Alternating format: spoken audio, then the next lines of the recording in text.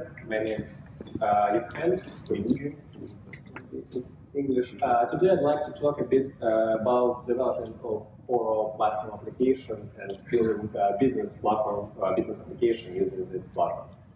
Uh, I'm going to talk about features of this platform. I'm going to talk about uh, small uh, backend implementation, how it works, how it, how we are using it, and uh, talk a bit about history of development of uh, our applications, and uh, show if we have the time, I show you uh, real, real example application built uh, using this uh, platform. So the main point of the presentation is, uh, make uh, an application as easy as pie. I really like this expression because uh, you know uh, made pie is not easy. And I'd like to ask you, who actually tried to make a pie? Oh, wow. we have really lots of uh, people who do cooking themselves, yeah? Uh, actually, from developer point of view, make a pie is not an easy, uh, not an easy task. You have to find some kind of manual, usually people call it called recipe. You have to find some ingredients, mix it, do some magic, and all, only after that you will get your pie. And the same with Oro platform. Uh, when you uh, have a first look on it, you will, you will uh, see some things that uh, may be, uh, look a bit strange for you. But when you uh, dig a bit, you'll find out that all these things were implemented just to solve some specific tasks and implement some business features. So don't worry, when you will look at the second time, you will see, wow, it's absolutely clear. I have to know that it's worked in this, in this way. And that's it. Uh, and what is Oro Platform actually? Oro Platform uh, was built as uh, was built during development of Oro CRM. It's open source CRM, and uh, when we find out that some feature can be uh, reused in any business application uh, product, we moved this feature into Oro Platform, and Oro Platform was built in this way. When we just started uh, working on the uh, Oro platform, it has maybe one or two, uh, two uh, features, and then we are continuing working on uh, development and uh, continue, continue, continue, and we got more and more features, and now we have, one week ago it was 56 bundles, now I believe it's already 57. and all these bundles contains features usually can be used in any business application. It's ACL, it's user management. I will talk about uh, this a bit later. So all these features, it's some kind of base uh, for your business application. We, use, uh, we are using Symfony uh, framework as a core. We have it here. Uh, we have uh, business features built over the Symfony core, and that's what we call Oro platform. We are using lots of features lots of bundles uh, from our community. Of course, it's Symfony full stack bundle. Uh, we are using Doctrine as ORM. Uh, we are working with relation database, uh, Postgre, and MySQL. Uh, we're using lots of bundles from our community. We're using JMS, Arrival, and JobQ. We're using Current Payment Gaufrette. We're using uh, FOSRest bundle, Silos, Flock, Neobatch, Liip, Imagine, and lots of other things. You can look at our composer JSON. You will find all these bundles there.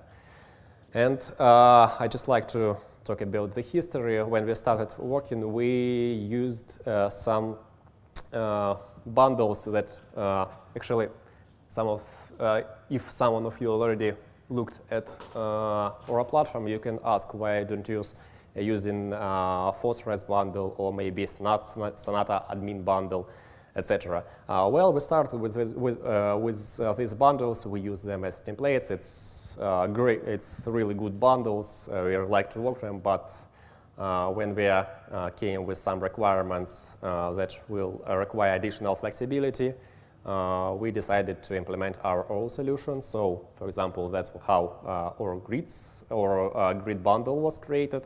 and in our uh, platform, we used some features that uh, you can find in other bundles in community, but in our specific case, they, uh, they usually extended and have additional features to use. This application out of the box is what you can build using Oro platform. You don't have to worry about some regular stuff like ACL. You don't have to worry like stuff like uh, user management, you don't have to worry about uh, grid management, you don't have to worry about reporting, segmentation, etc., etc., etc.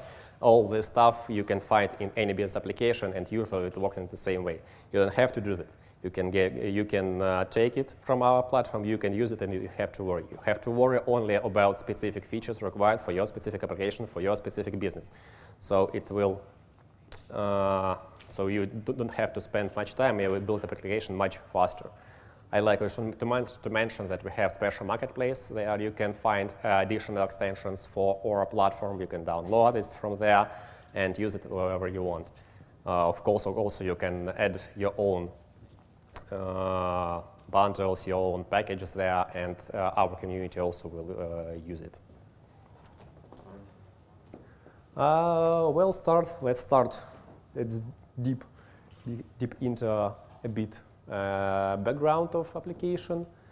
As you can see here, it's a very basic installation of uh, Oro platform. It's Oro platform empty application. Uh, you have require section, Oro slash platform, uh, some version of Oro platform you'd like to use. And that's, that's actually uh, all you need to involve of Oro platform features into your application. You have to do require Oro platform, you have to do composer update, and that's it. Nothing more.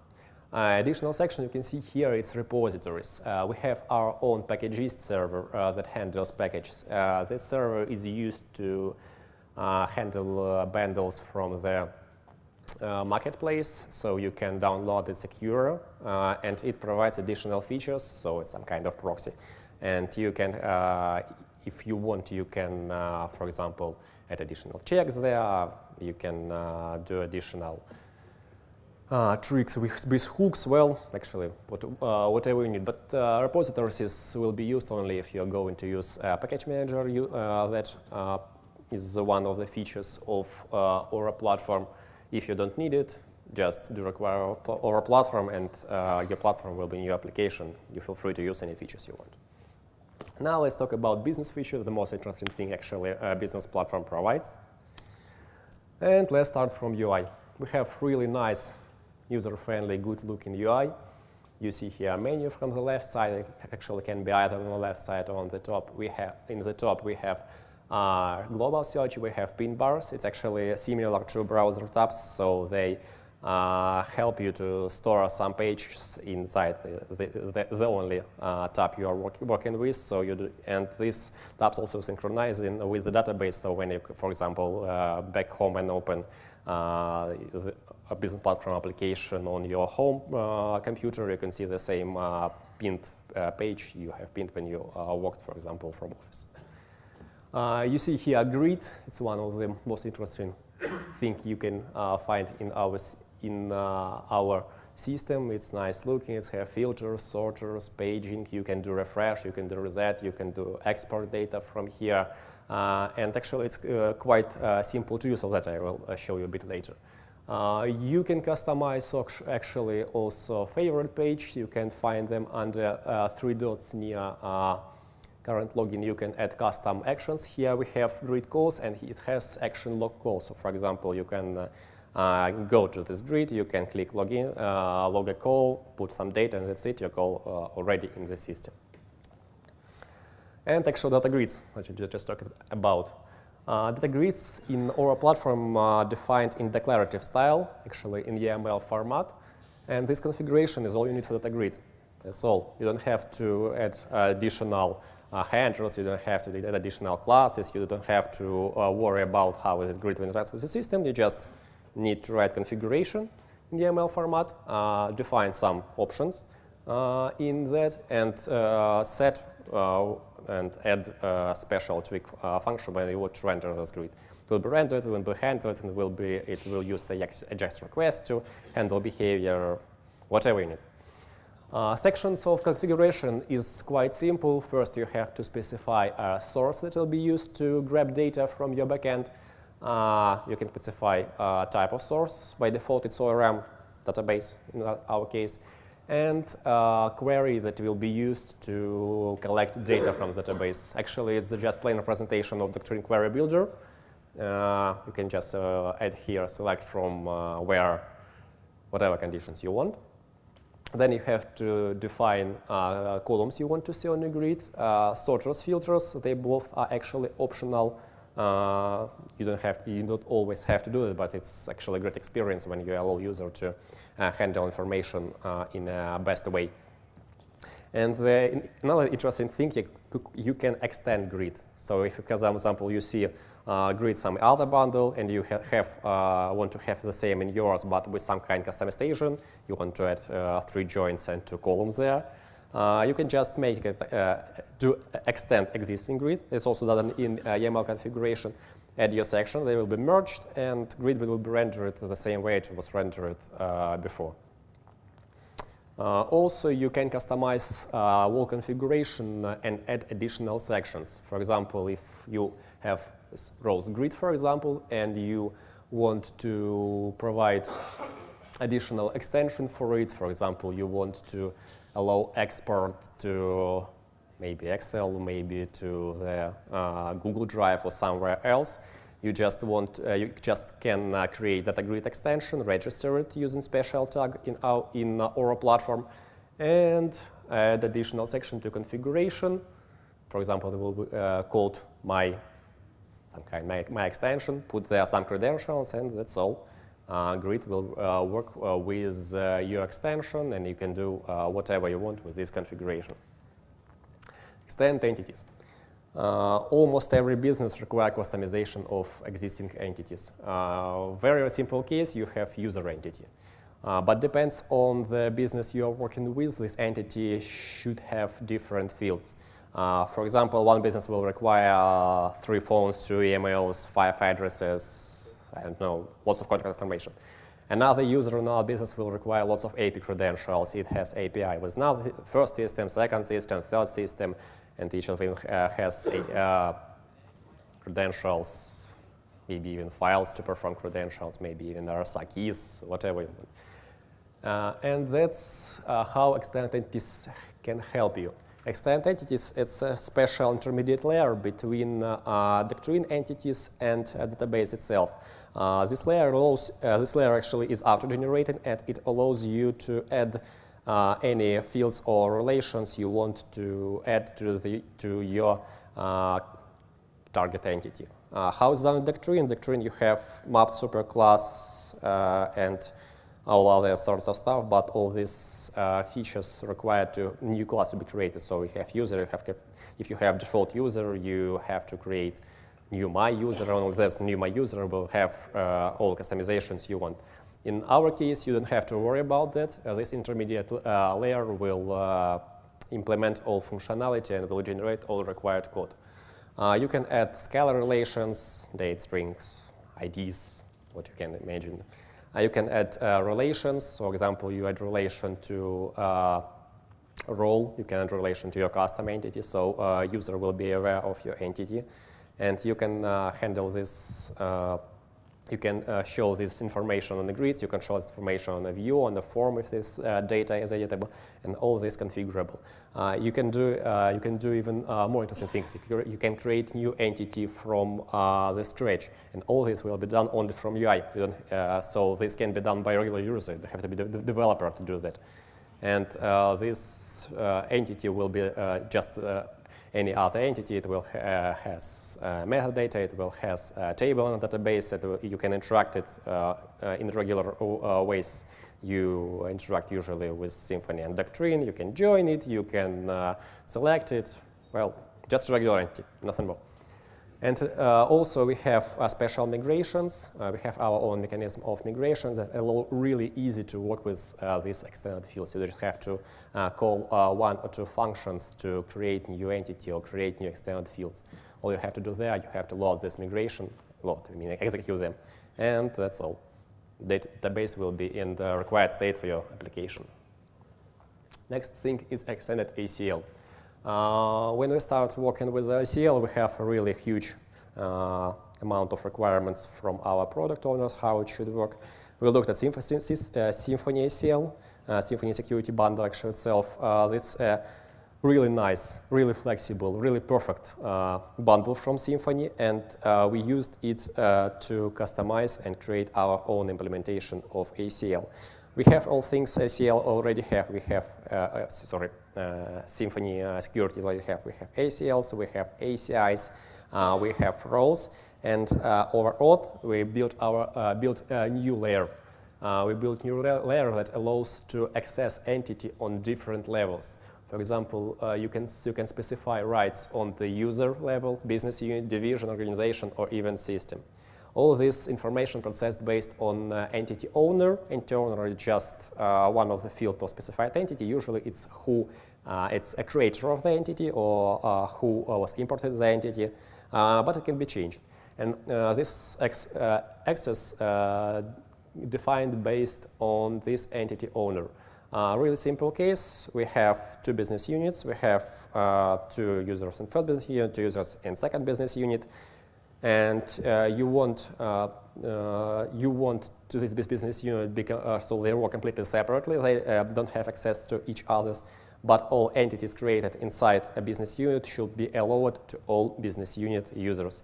And after that, you want to have manager that will allow, uh, should be allowed access to all entities on first business unit, on second business unit, and any other business unit you want. So in this case, you just have to specify that entity owner of an entity uh, will be business unit where users working in. And then you have to specify that on organizational division level where your manager is uh, registered, it has access to entities. And that's it. Uh, that will work exactly as you want search. Uh, well, search is a very common thing. You can see it on Google, for example. Uh, global search in uh, platform allows you to search over all existing entities in system. You can find uh, together users, contacts, accounts, your entities, second entity, whatever entity you need, uh, just by entering some kind of name or whatever you want, any field that put, was put in index.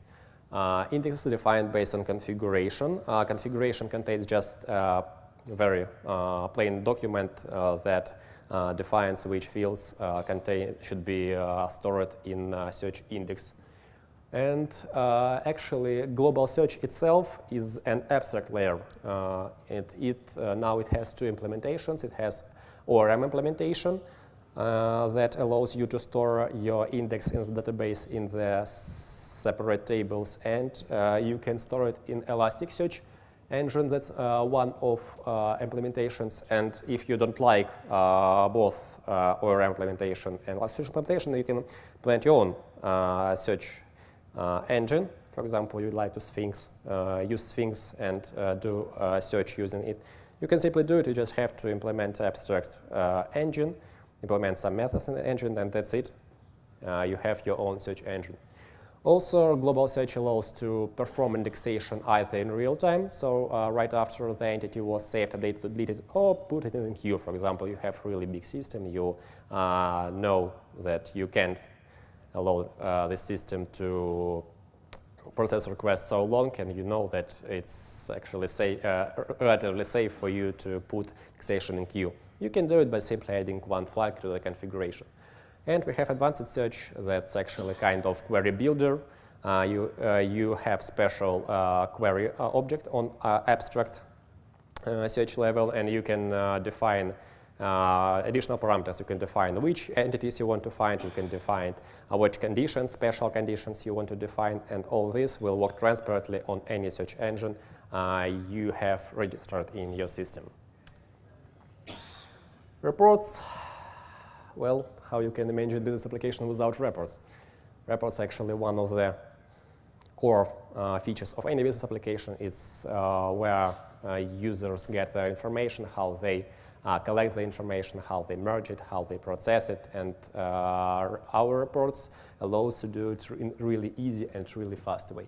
Uh, first reports based on the data grids, so in the simplest way you can just define special data grid, registered as report, and uh, you can see it in the reports menu in the Oro, Oro platform application. And uh, second more important thing, uh, user don't have to be developer to build a report. Uh, he can just go to UI, uh, do several clicks on mouse, and voila, user has a report. We have created a special UI query builder. So I believe you are familiar, familiar with the screen, you know how query builder works. This UI do the same. It allows you to just choose entity, allows you to choose additional fields from the entity, add filters, sorters, uh, grouping functions, and after all that, uh, this data will be represented as a data grid uh, with uh, data specified in your uh, section for your entity uh, used in report. Also, reports might have chart representation, so you, you want to see how your values were grown or decreased uh, during some time, and that's it. For example, you can do a line chart. You can see how report look with it. Workflows, one of the most interesting features of uh, our platform. Workflows allow to perform anti-manipulations. Uh, but anti by anti-manipulations, you can, uh, I mean, you can do anything you want with your entity. Uh, you can change their data. You can perform additional actions. You can send, uh, send email uh, with their data. You can uh, interact with API. Actually, whatever you can imagine, you can do in the workflows. Basically, workflows is just a state machine. To be more precise, its work, workflow is oriented graphs where arcs are called transition and nodes called, steps. Uh, and this workflow allows, uh, this uh, graph allows to specify how entity uh, will be processed. So you can create several steps. You can move for, uh, this entity from one step to another steps according to special rules. And during this uh, moving, you can execute special actions.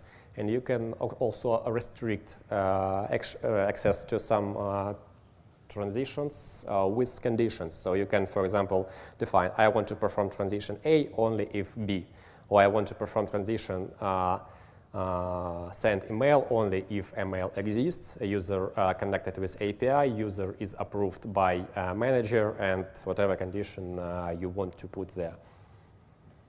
Uh, these conditions and actions provide really flexibility, and we have also UI management for workflows uh, that allows to build workflow from scratch without knowing any backend, so you can go just on UI. Uh, you can uh, specify steps, transitions you want to, to have in your system, do click, click, click, do save, do activate, and you go to the entity and uh, process this entity using workflows. All these interesting things specified in workflow configuration, define YAML file, and that's actually how looks developers who see uh, workflow configuration the first time. Uh, but you don't have to really worry about that. Configuration is not complex. You just have to uh, see basic concepts of the workflow. Uh, and when you will look at workflow configuration the second time, you uh, will uh, know how it works. You will know what section is used for. You will can read it with the same you read regular code. Let's talk a bit about uh, where this application can be used. Well, the first thing, the first area it can be used as any internet application, any application that uh, should be hidden uh, from the real world, should be hidden in the internal net of the, some specific uh, company. It can be call center application, call border management application, can be regular CRM application. Uh, it also can be some kind of uh, systems that uh, interact with uh, users or a system that used only to collect data, data, actually whatever you can imagine you can uh, build uh, using Oro platform. Um, I think let's start to talk about real a uh, bit about real applications implemented uh, with Oro platform. first, uh, application. It's Oro CRM. It's open source CRM that allows you to automate your processes uh, in your specific uh, company with your specific business. It's really customizable. It's open source. You can uh, deep into the code. You can find out how it works. Uh, you can add uh, additional extensions for it, whatever you wish. Second one, it's, it's Akeneo PIM, Product Information Management.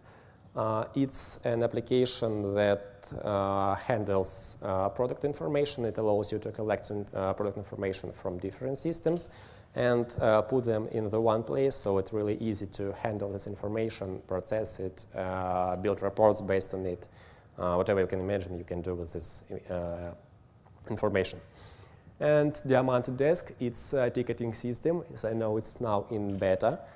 Uh, it allows you to have several ticketing systems. Uh, for example, they don't uh, know how to interact with each other. Uh, these ticketing systems uh, can uh, have different sources, different databases, whatever you want. the only thing they have to do is have API. So Daemon, De Daemon Desk will help you to collect this data in, this, in the one place and work in the place with all these tickets. Also, you have uh, you can see here two links. It's demo instances for OroCRM, uh, demo.orocrm.com and Akeneo PIM. Demo.akeneo.com, uh, you can go there. You can check how this application uh, look in real life.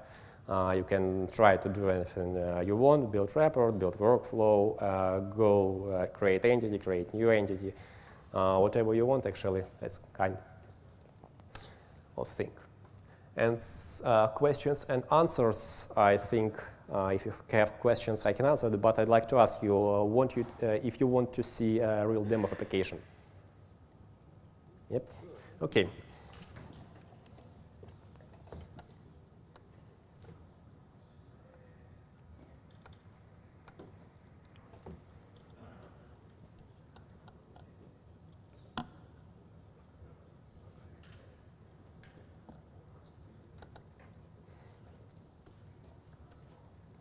So here is how uh, Oro CRM looks. Uh, you can see here dashboard. Dashboard has uh, lots of widgets with information about Oro CRM. Uh, you can see here calendar. You can see here uh, some pie charts, actually, report based on workflows. You can see calls. You can see lots of statistic information you want to see in your system. Um, let's go, for example, to contacts grid. Up.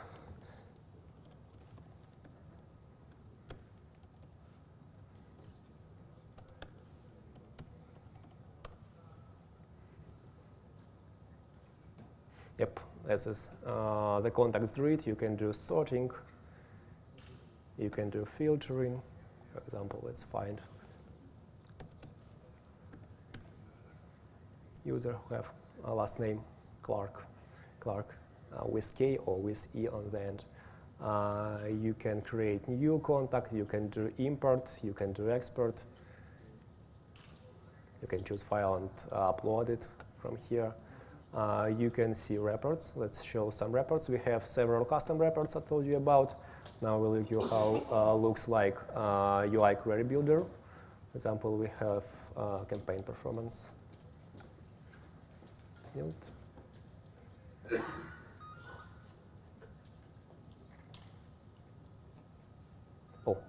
Here it is. Here is the query builder. You can here specify entity you're working with. You can specify report type, uh, owner. You can specify name description. And that's the most interesting thing. Here are the columns uh, defined here. You can specify columns you want.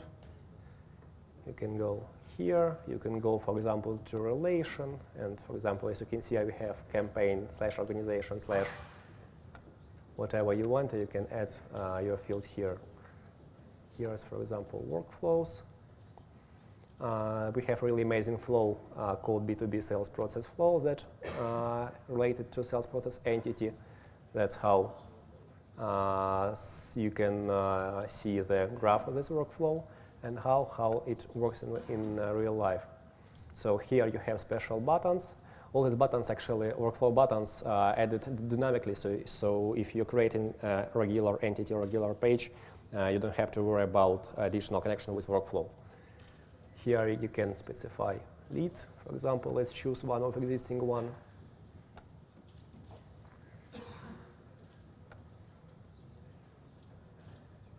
Submit. You can qualify this lead.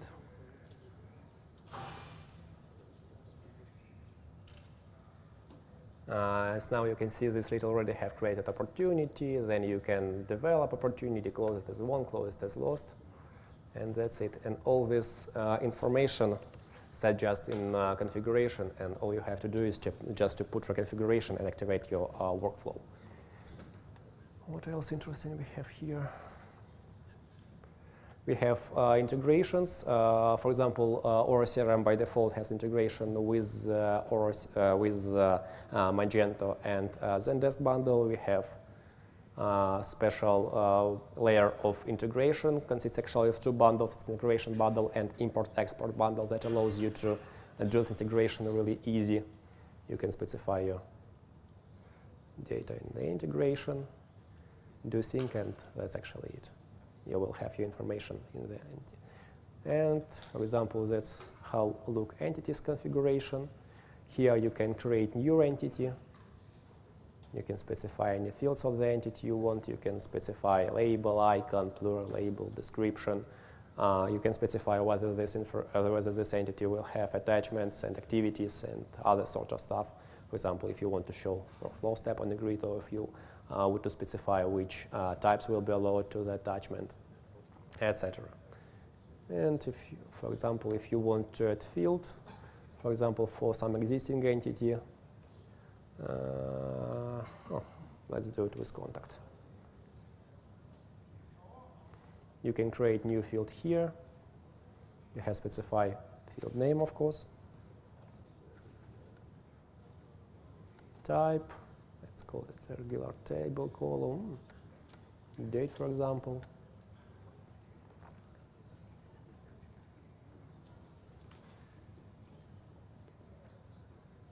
You can specify storage type here. Uh, just a sec, I will show you edit again.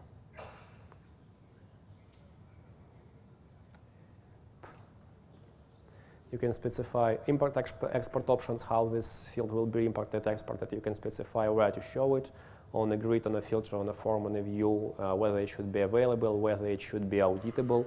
Auditable, it means that it will be saved into internal uh, storage when uh, the entity is changed. So you have a history of changes of all entity. Actually, I'd like to show you it now. For example, we have some contact, uh, Bert Clark we'd like, for example, change it.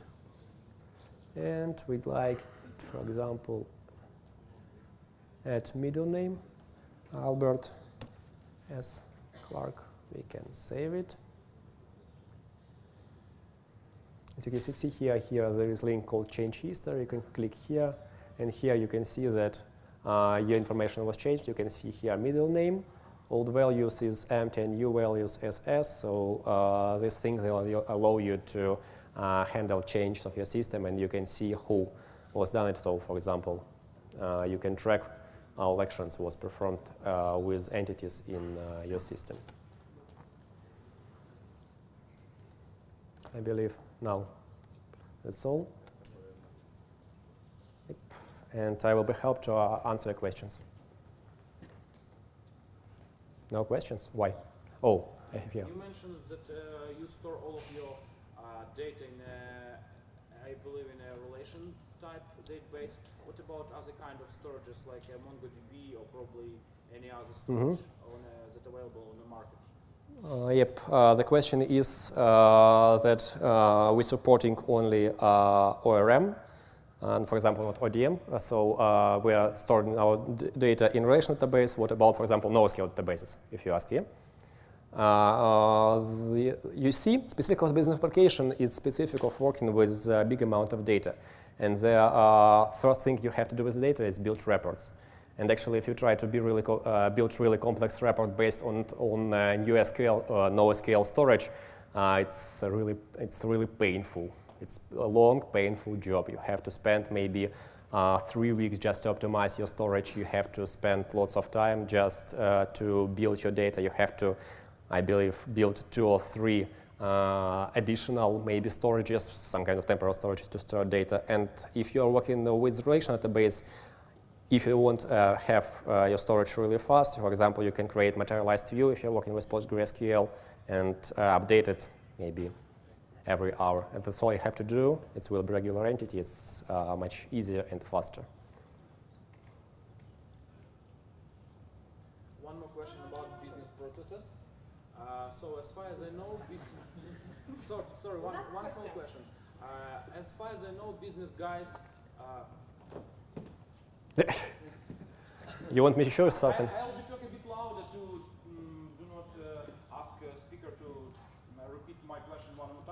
as far as I know, business guys uh, do uh, her job like a business process planning in uh, separate tools and then uh, probably um, export all of these ugly squares and triangles to uh, some kind of XML and then you should pro probably you should uh, parse this and uh, apply to your system probably to, uh, to import uh, business flow uh, business flow. So is any any stuff to um, import such Mhm. XMLs in your system? I understand your question. Uh, I, I see at least two prob- probable uh, way, uh, two probable well ways to do that. Uh, first, if you are trying about, uh, if you are talking about importing of entity data, uh, I mean you have created uh, your uh, schema of your entities, schema of relations within entities. Uh, you can uh, create your import for entity configuration and then update your schema. Uh, you, so these entities will appear in the entity configuration. I'll just show you that. And this relation will be built according to your requirements. And the second thing about uh, uh, business flows in the specific company, if your flow is not really, really complex with really conditional conditions and actions, you can do it from UI. You can go to UI, you can add uh, steps transitions, apply uh, this workflow to specific entity, and uh, process this as an entity according to your flow. Uh, if you have uh, some really complicated logic that involves, for example, interaction with API, interaction with managers who, uh, for example, sits in another office in the other country. You have to do a call for her, uh, for this manager and collect information on that. Uh, continue your uh, process. Uh, first thing you you can do, you can implement your custom workflow for that. And the second thing you can do, you can automate uh, this also from entities and UI, but in this case, you just uh, have to know which actions should be performed in which order. So the first way will require some kind of development work. The second way can be done uh, from your, only from UI without involving of uh, developer resources, for example.